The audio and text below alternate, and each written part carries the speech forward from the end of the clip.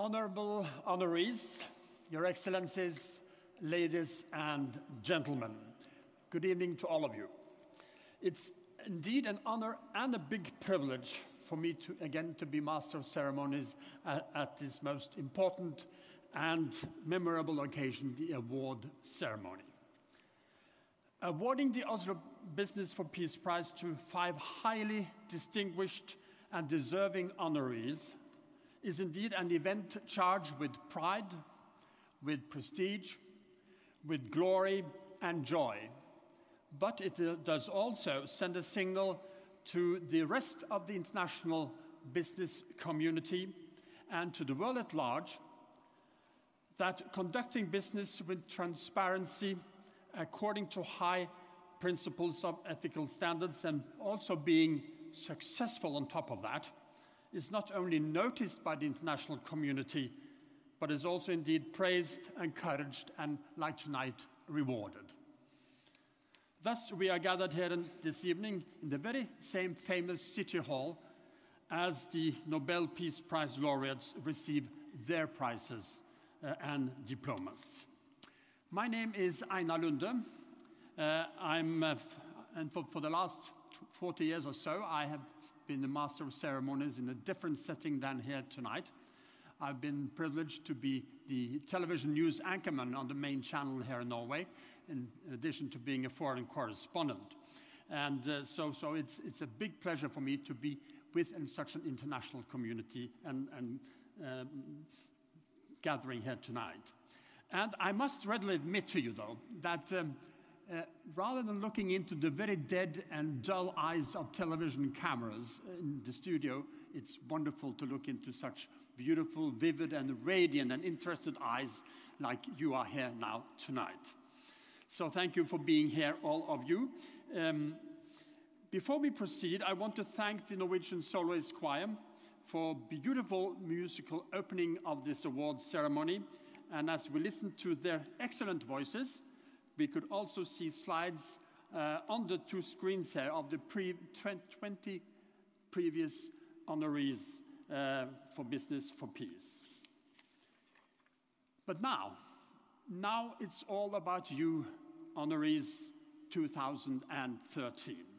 And this year we have a slightly different procedure, and I will now call on each of the honoree, uh, or their representative actually, and they will stand up, uh, and then at the end, we'll all give them a warm round of applause, after which they will approach the stage and take seat uh, eventually at their seats and chairs on the stage.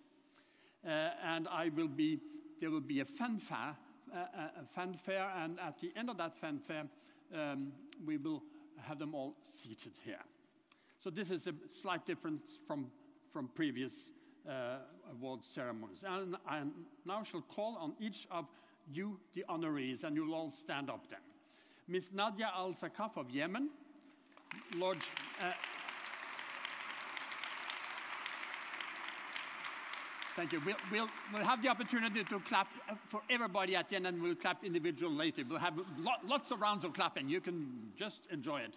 But now we'll just do it quickly. So that was Nadia Al-Sakaf. Uh, Lord uh, James Abinger represented Honorary Dean Cycon of the United States, Ms. Margaret Groff of Brazil, Ms. Connie Hasselmann of Denmark, and Mr. Arif Naqvi of Pakistan.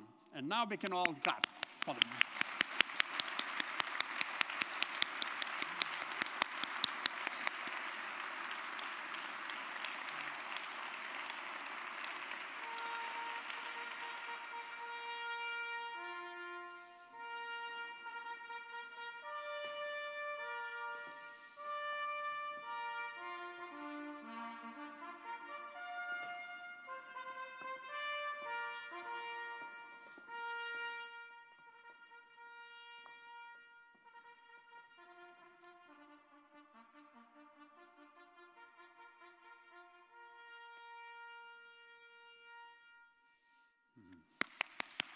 Please be seated.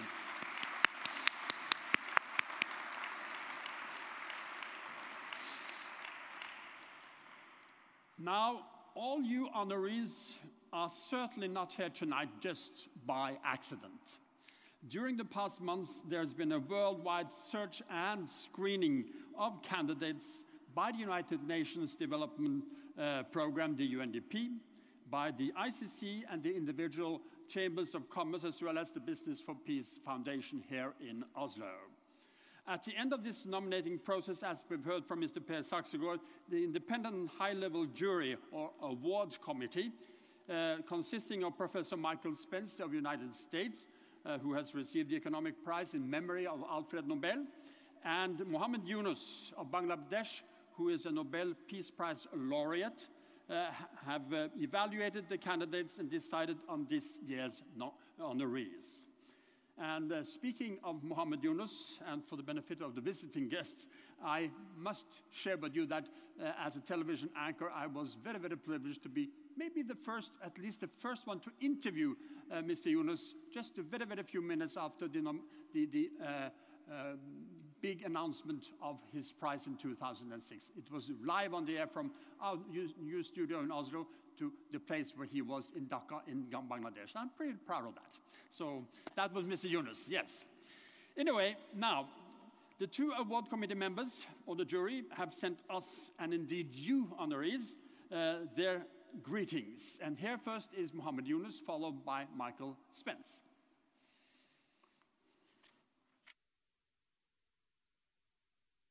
I have been with the award committee since the beginning, and I have seen how it impacts all over the world. The concept of being business worthy, that is, creating economic value and creating value for the society at the same time, is a very powerful concept. It resonates with the enlightened leaders everywhere. Since the financial crisis, many have sought a new direction, new guidelines for the conduct of business. Being business worthy shows a win-win situation that is a long-term and far superior to the traditional win-lose situation. Much work remains, but the gain in the stature of the Oslo Business for Peace Award and its considerable supportive partners show great promise for the years to come. Initially, we were three members in the award committee. Unfortunately, we lost one. The world's most admired person, Nobel laureate Wangari Maathai. She is greatly missed. Her dedication, her ideas, and example will live on. However, as there can be little doubt that she showed the way in creating shared value between business and society. I wish the 2013 Business for Peace honorees will find happiness in their work. Their examples will inspire other business leaders while showing the society that business truly can be a force of good in the world. Thank you. Congratulations.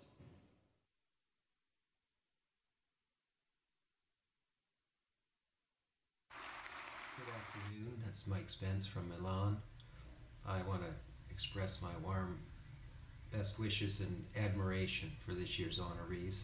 I've had the privilege of having a small role since the founding of the Business for Peace Award and uh, including uh, some chance to be part of the selection process. I can assure you uh, that that process is a very difficult one in the sense that there's many, many, many fine people who have made large size contributions to their societies and uh, and their businesses and their nations. And so I think it's an extraordinarily wonderful thing that the Business for Peace Award is being widely recognized, supported by many, many important uh, uh, institutions of a variety of kinds. And uh, I'm sorry I can't be with you to express my admiration and respect for what you've done in person, but I hope you have a wonderful ceremony and I hope to be with you in a subsequent year.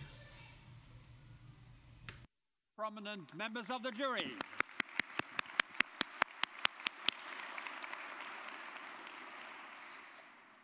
And uh, now, ladies and gentlemen, to the highlight of this evening, the awarding of the prizes. The procedure is as follows. After the announcement of each individual honoree, one of Norway's popular artists, a member of Artists Council of Norway, uh, Ms. Asta Busingye Lydersen, will read a presentation, a tribute to each of the winners, after which the honoree will come forward, accompanied by one of our wonderful Norwegian hosts or hostesses, uh, to receive the prize and diploma from the governing mayor of Oslo, Stian Berger Røsland, and the chairman of Business for Peace Foundation, Per Saxegaard. In conclusion, and before uh, announcement of the next winner, I shall conduct a very, very brief interview with each one of the honorees. And I will announce the honorees in alphabetical order. So, ladies and gentlemen, the first Business for Peace honoree in 2013 is Ms. Nadia Al-Sakaf from Yemen.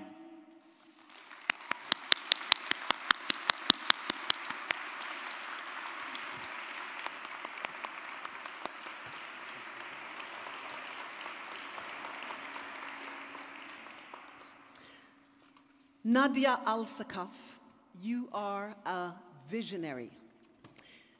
Using the newspaper, where she's an editor, as a platform, Nadia Al Sakaf is promoting freedom, human rights, and democracy through a number of effective actions. The Yemen Times and its companion, Radio Yemen Times, have created the first free public platform for expression in her country. The Yemen Times establishment is one of the few organizations in the nation to hire fresh graduates and provide them with intensive training and qualification programs inside and outside Yemen, thus building a highly skilled and confident generation of young Yemenis.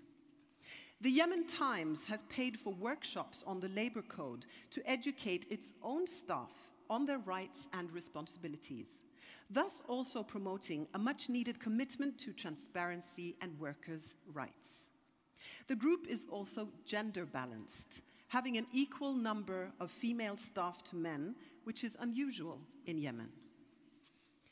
Under the leadership of Nadia Al Sakaf, the Yemen Times establishment has motivated the Yemen community to develop through its civil society projects.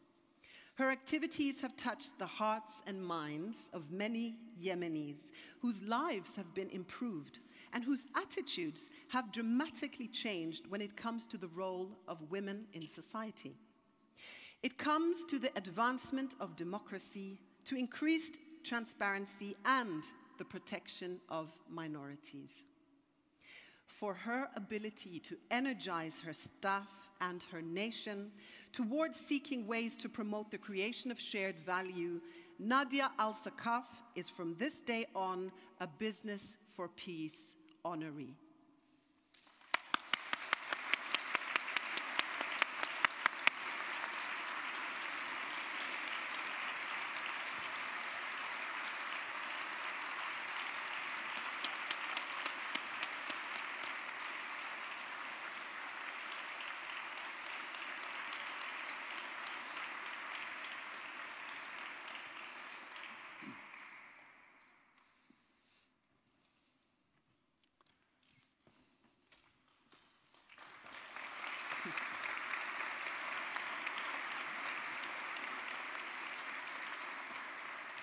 Nadia, you have just received um, a Business for Peace award, yet your country is anything but peace in, in many, many ways.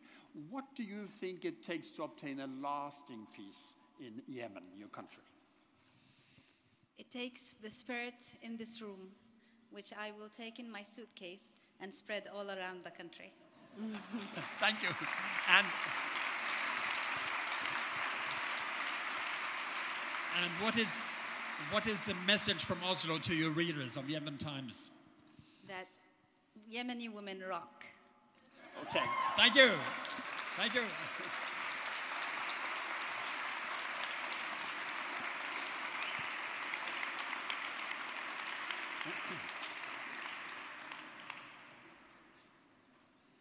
Thank you, Nadia. Now, the next Business for Peace honoree 2013 is Mr. Dean Cycon of the United States.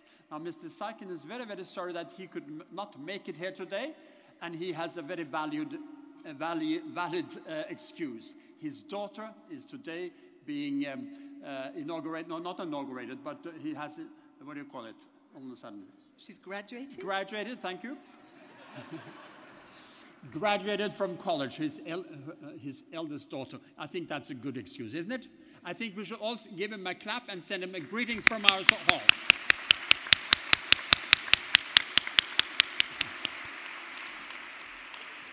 Now, Mrs. Eichen is, is being represented here today by a long-time uh, and very close old friend, uh, Lord James Abinger, who is incidentally the ninth Baron Abinger in the beautiful county of Surrey in England.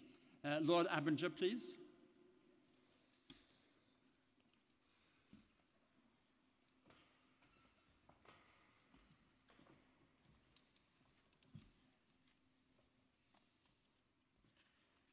Well, in the day of modern day technology, it might be that Mr. Cycon will see a recording of this, so I will speak directly to Mr. Cycon. Dean Cycon, a trailblazer. Years ago, long before corporate social responsibility became a catchphrase, you decided to test a powerful idea. Can a business promote positive economic, social, and environmental change at the third world source and be profitable at the same time? This is a profitable and powerful idea because it states outright that a business is responsible for its entire chain of supply. It is powerful because it fights the general tendency to exploit suppliers. And it is powerful because it requires a business to remain faithful to its suppliers through thick and thin until mutual goals are achieved. Dean Cycon founded Dean's Beans to demonstrate that a company can achieve long term profitable growth while actively improving the lives of all its suppliers. He has succeeded to an extent that delivers criticism to those companies who do not follow his philosophy. Being business worthy is to achieve economic value while also creating value for society.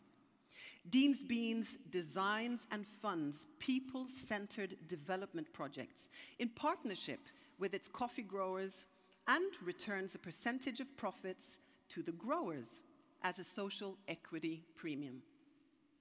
To Dean Cycon, corporate social responsibility and sustainability must be brought deeply into businesses as an integral part of decision making and not just be tacked on at the end as window dressing. This is truly a high ideal. And through his activities, Dean Cycon has demonstrated that it is also a profitable one. It leads to continuous growth and to mutual benefits, too numerous to mention, between his business and the societies in which it is active. For your leadership, you are hereafter to be known as a Business for Peace honoree.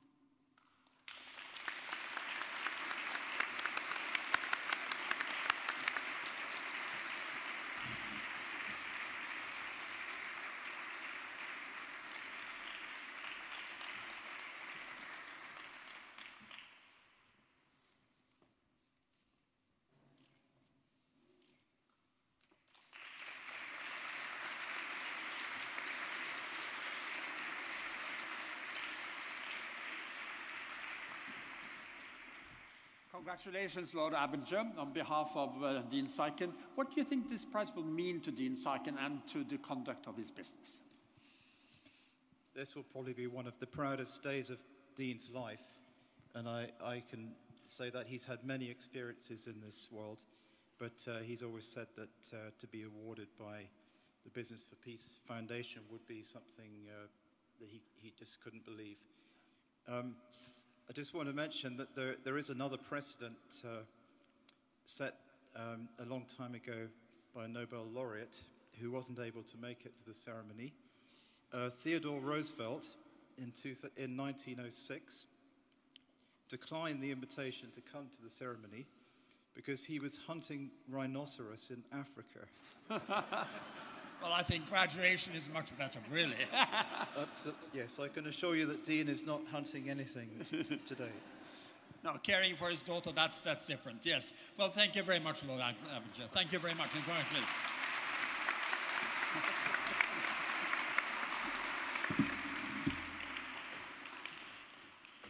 Yes, ladies and gentlemen, now for our next Business for Peace honoree 2013, Miss Margaret Groff from Brazil.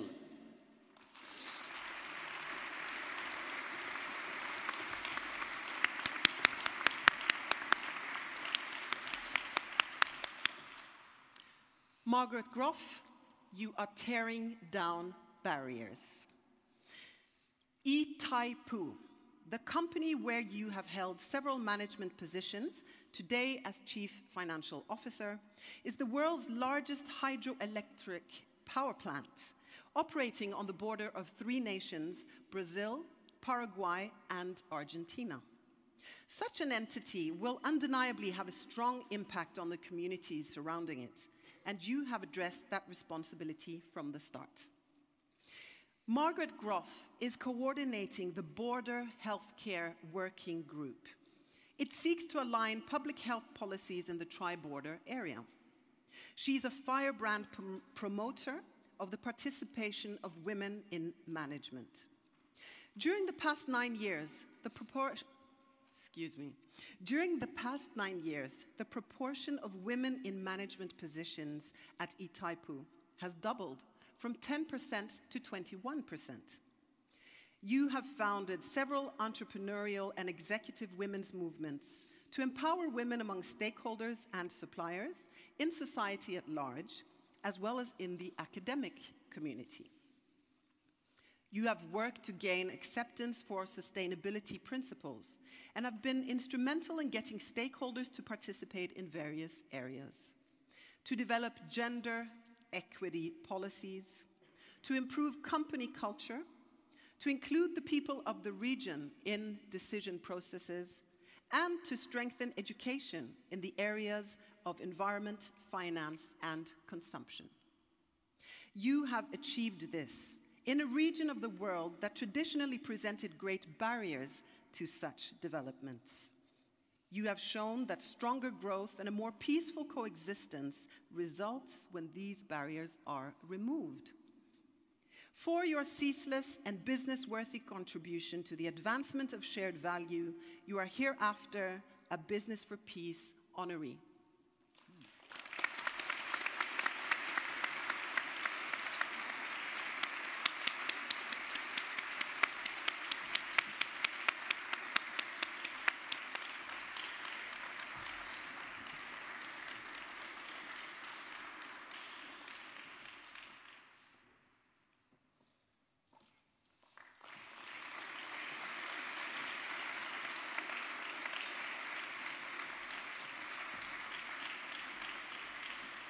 Congratulations, congratulations, Margaret Groff. Um, you, you just heard that you have actually increased the percentage of women managers in that large company of yours uh, from, from 10% nine years ago to 21% now. That's quite an accomplishment. What is your next goal? Uh, I spread, the, I will spread in, encouraging the applicate more and more the model uh, gender equality of Taipu and the entrepreneurs and uh, the supplier for em- empowerment women.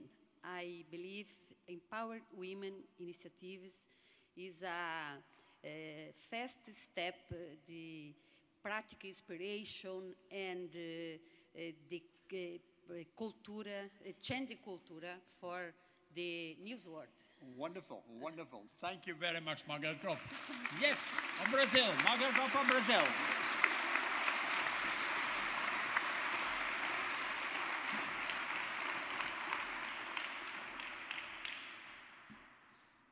Our next Business for Peace honoree 2013 is from Denmark, Connie Hasselmann.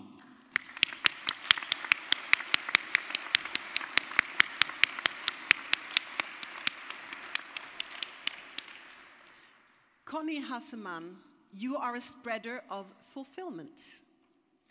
In 1995, you decided to show the world that disabled people are a valuable labor resource on an equal footing with other workers. You found ways to help the disabled achieve a sense of fulfillment by helping them contribute and participate instead of being passive recipients of assistance. Your company, Telehandelshuset, has shown the way. It operates on market terms without underlying public support and has a wide range of customers from both, both the private and public sector. You have established a successful business and a job training facility, helping integrate disabled people into mainstream employment. You are actively promoting the example of your company, thus inspiring other decision makers. Telehandelshuset employs the blind and the visually impaired, traditionally the groups with the lowest employment rates in Denmark. Yet, six out of eight students who have gone through your company's training have been employed afterwards. And your company is growing, a certain sign of the success of your achievement. The Oslo Business for Peace Award honors enlightened leadership in areas within and outside the businesses the honorees have established or are a part of. Your dedication and drive has taken you to participate in local, national, and international networks where you advocate your social mission. You are making others rethink their recruitment strategies and initiating new projects. Your model demonstrates that comprehensive rehabilitation of the disabled can have fulfilling employment as its outcome.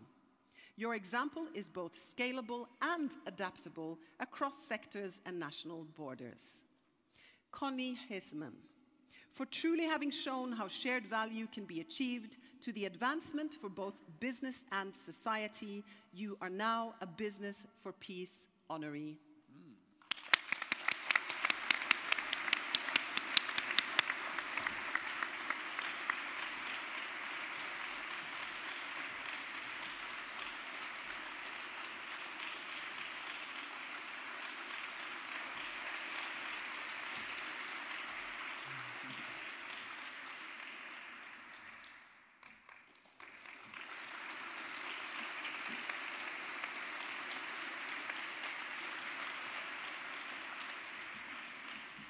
Congratulations, Connie Hasselmann.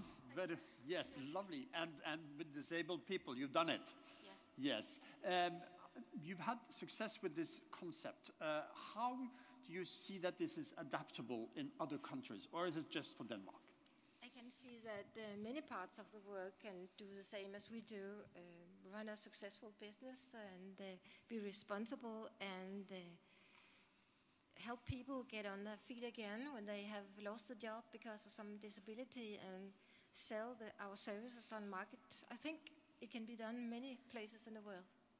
But certainly, I mean, a lot of it happens throughout the world, but, but not on this scale. Uh, you must have been able to crack a code somehow. I think it's a combination of being a business person and believe in other persons. And when you put those things together, you get five out of it. And yeah, I, I think it's, it's not that difficult. Okay, fine. Thank you very much and congratulations. Wonderful.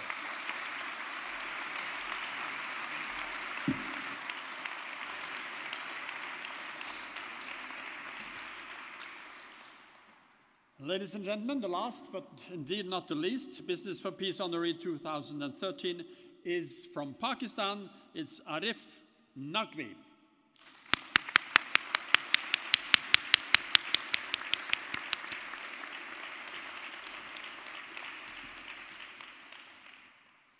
Arif Naqvi, you are turning the world on its head. Arif Naqvi promotes transparency, accountability, and sustainability in a world where business often spends vast resources to achieve their opposites. He has stated that stakeholder value must be on a level with or surpass shareholder value in the investment activities of the Abraaj Group, a group he founded and leads. This is a powerful idea, but one that is not mainstream in a world of business where too often it is claimed that shareholder interests, by definition, must trump all others. By demanding a focus on stakeholder value, that is, on value for parties outside the business itself that are affected by its operations, Naqvi is accelerating the process of shared value, while at the same time demonstrating it is still possible to achieve impressive profitability. The Business for Peace Foundation is convinced that companies seen to be a positive force in the communities where they are active will be assisted and supported by those same communities. Where mutual benefit is achieved, there are improved prospects for peace and prosperity and for the establishment of strong trust. Arif Naqvi is promoting responsible business practices through many channels. In education and mentoring efforts, in school and vocational centers that have been built, and through a sustainability council that challenges and measures performance according to ethical and responsible benchmarks. In recognition of his enlightened leadership, Arif Naqvi has been invited to serve on the board of the United Nations Global Impact. I'll try again. The United Nations Global Compact and he's collaborating with the Bill and Melinda Gates Foundation on various initiatives, among them an effort to educate the Arab world on responsible business practices. For initiating numerous examples of how business can also benefit stakeholders, Arif Naqvi is from this day on a Business for Peace honoree.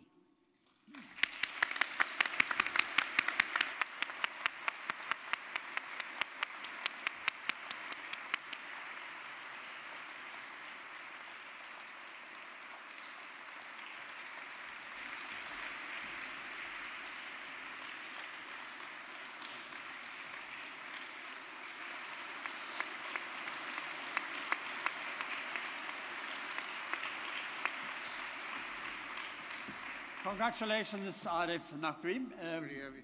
It's heavy, that's good, yes. What sort of impact do you think this prize will have on your conduct of business in your big, big corporation?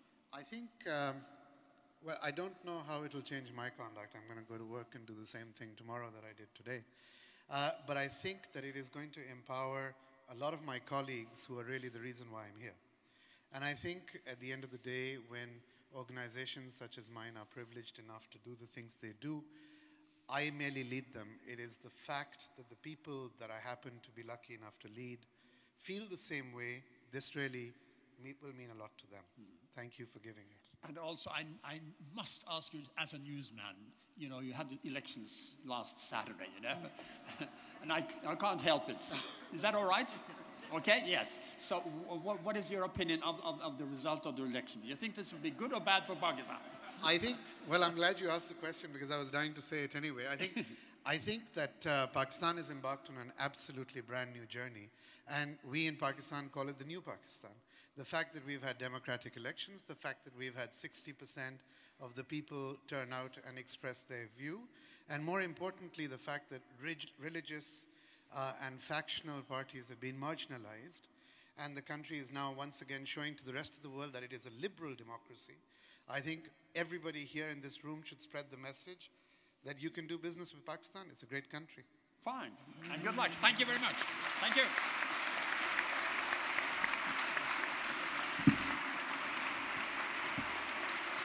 Yeah. Yes, and I've now called on all the honorees to come forward to the center stage.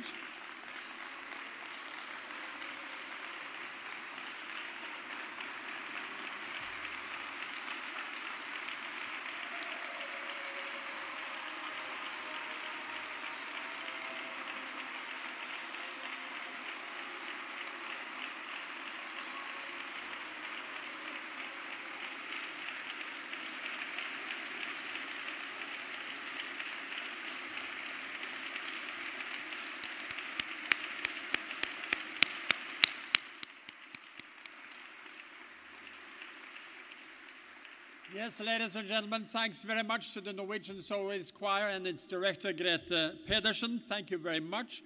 And um, for this contributing with excellent music and beautiful music this evening. And uh, we now have the uh, chance again to, to give a warm applause to the whole group of honorees. We started now and we can conclude it without music as well.